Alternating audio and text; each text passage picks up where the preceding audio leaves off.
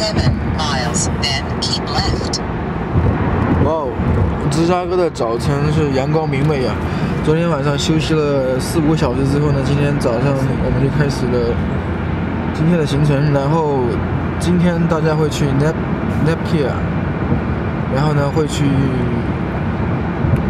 五大湖那边去走一走这样子。然后我今天会吃完早餐之后会去 Joe 老师家里去拜访他这样子。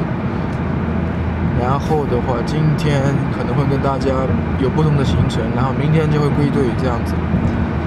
来看一看阳光啊！昨天晚上的的天空非常的晴朗啊，能看到很多星星，感觉在国内都看不到那么多星星。哇，OK。